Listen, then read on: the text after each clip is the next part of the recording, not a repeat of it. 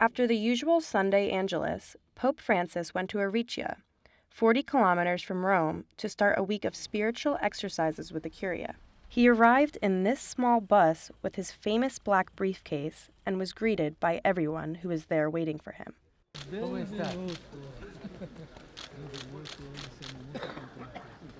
Some of those in charge of the house wanted to be very welcoming.